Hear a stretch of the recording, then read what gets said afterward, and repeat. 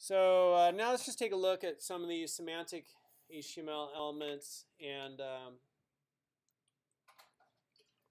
see how they're defined. So header, right? Let's go to MDN header, and then we'll go take a look at MDN footer, and uh, we'll take a look at those. So header represents introductory content, typically a group of introductory navigational aids it may contain some heading elements, but also other elements like a logo, search form, an author name, and so on.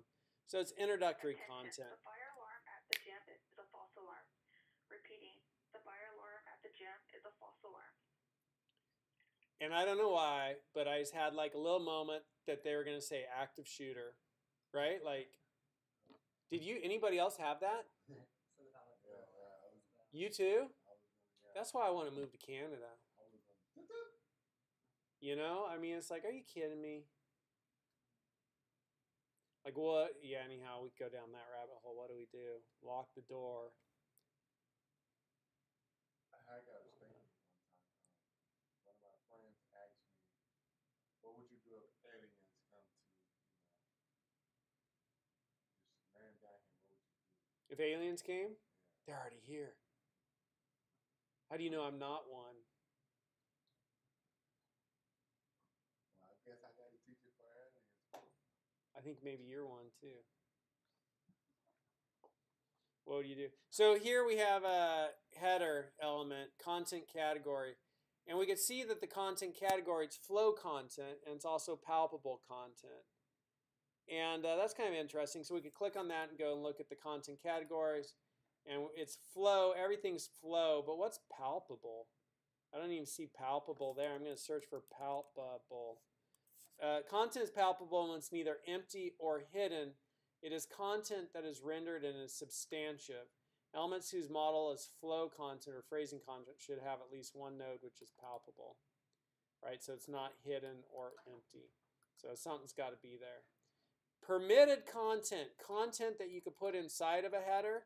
You could put flow content inside of a header, but with no header or footer descendant. So you can't put uh, a header or footer inside of a header, right?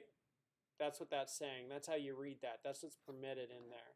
And if we look at footer, uh, sectioning content or sectioning root element, a footer typically contains information about the author of the section, copyright data, or links to related documents. So author, copyright data, links to related documents. And uh, you can put into a footer uh, flow content, but with no footer or header. So you can't put a footer or header in, in a footer, but you can put any other flow content. And permitted parents, any element that accepts flow content. Note that a footer element must not be a descendant of an address header or another footer element. That's how you read those things, right? Like what, who can use this element? Can I nest it under? And so if I ever saw you do this, right, footer, section, header, footer, I would say that's wrong.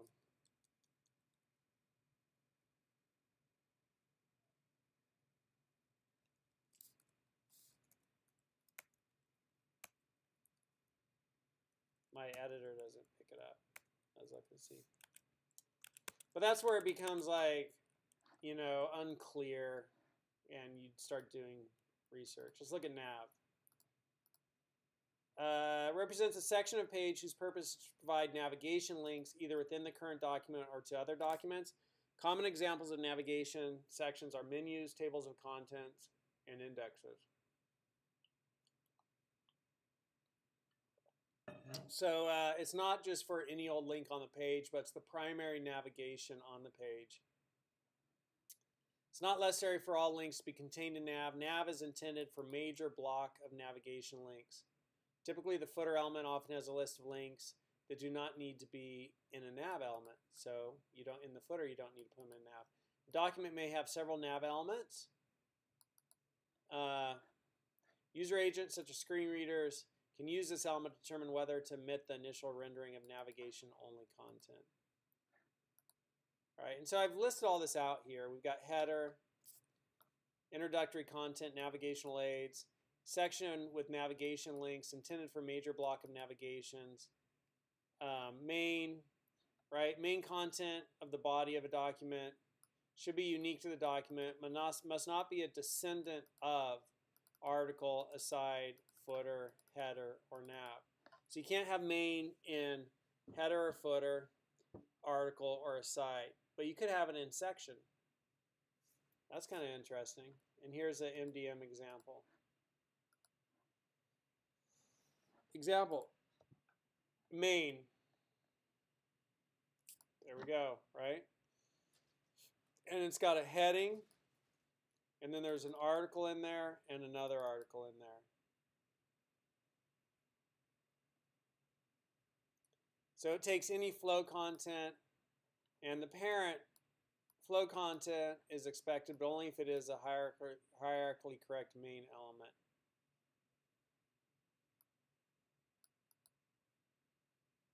So you want to look at like this first description, you want to look at this, and there's attributes, if they have attributes, and usage notes.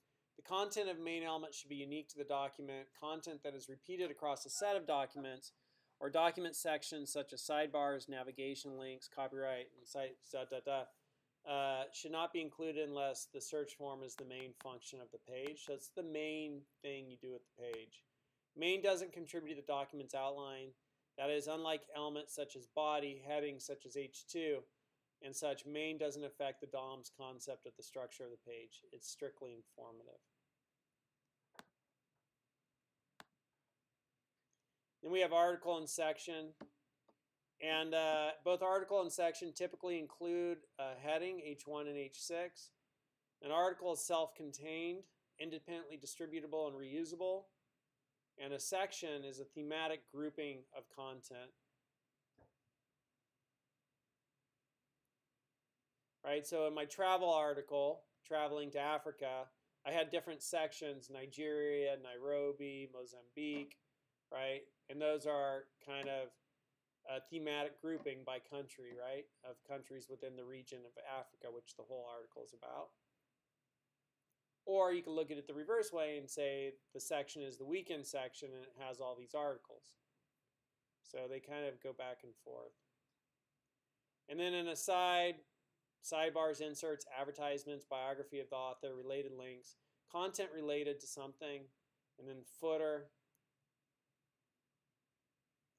and uh, some HTML examples, semantic HTML examples. And we have some, some examples there in our code. We'll look at those maybe in the next video. And then headings. Let's go look at those now in the next video.